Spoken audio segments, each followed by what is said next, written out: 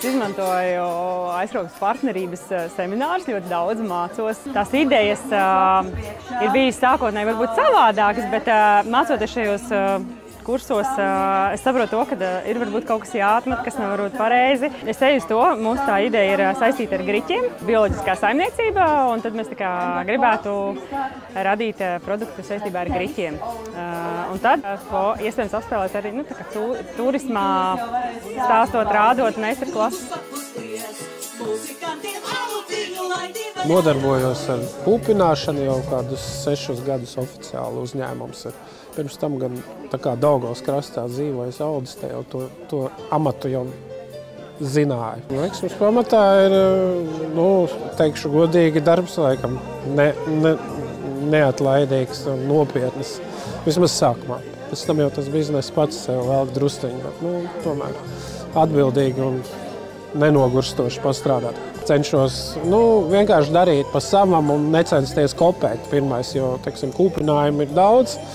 Un, un, un, un, bet es vienmēr kaut kādas receptes esmu mēģinājis pats izstrādāt. Odziņa ir sams, kas ir daudziem nav Latvijā, tas ir mazs, kam, jo tas ir mūsu pagastā, un, un tos, tas ir tāda, tā kā galvenā odziņa.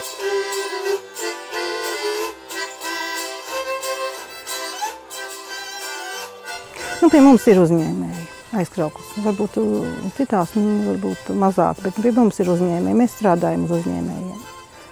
Mums tiešām liekas, ka tas ir ļoti vērtīgi, kad jauni uzņēmēji atnāk un paliek jauni cilvēki Latvijā, tas ir pats galvenais.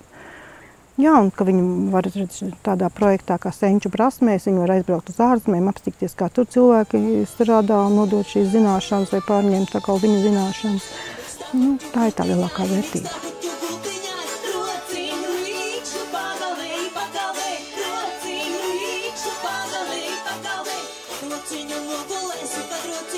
Projektā no tradicionālām amata prasmēm līdz mūsdienu ilgspējīgiem turismu produktiem mērķis bija um, veicināt vietējā turisma attīstību. Attīstīt gan esošos turismu uzņēmējus, gan veicināt, lai top jauni. Projektā ir um, sadarbības partneri, tādas pašas vietējās rīcības grupas kā mēs, kā mēs uh, no uh, Polijas, Slovēnijas, Moldovas, Grūzijas un Itālijas. Viena no aktivitātēm bija pieredzes apmaiņas braucieni katrā no teritorijām. Mēs braucām pie viņiem uz katru valsti un pēc tam tātad šeit mēs uzņemam viņus. I found many similarities. Cheese, bread, uh, cured meat, uh, But uh, what uh, most impressed is uh, the collaborative spirit of people in this territory. They work uh, all together to uh, promote the, the activities, the, the, the firms and the territory. It's uh, a big value, I think, one of the most important value. Bez šīm pieredzes apmaiņas vizītēm mēs īstenojām arī dažādas vietējās aktivitātes, lai, lai stiprinātu mūsu turisma ražotājus. Viena no tām bija datubāzes izveide, kurā mēs apkopojām visus partnerības teritorijā esošos turisma pakalpojumu sniedzējus. Tad otra lielā aktivitāte bija dažādi semināri par daudz un dažādām tēmām visās teritorijas vietās. Un visbeidzot pēdējais bija Um, kapacitātes celšanā esošajiem.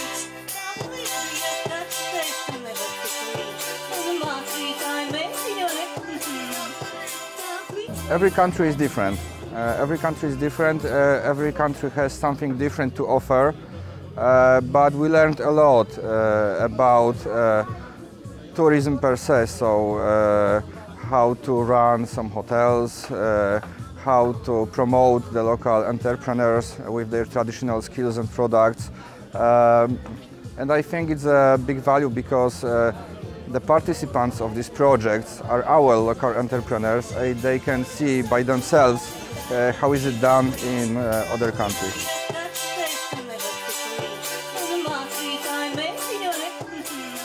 We visited a lot of entrepreneurs and we uh, saw a lot of beautiful things they are doing here.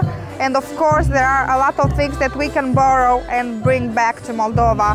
The ideas of the business, uh, for example, the beer, the cheese, so we can have these possibilities to do as well in, in Moldova.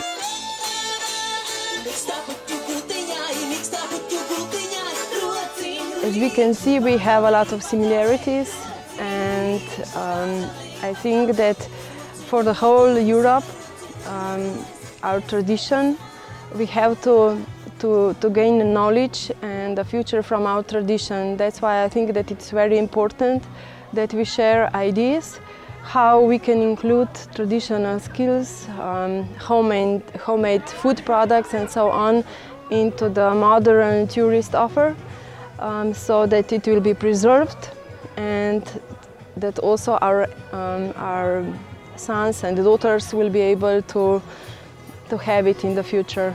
An expression which is uh, very famous. Uh, it is Forza Baris. It means come together. Come together, okay? Forza Baris.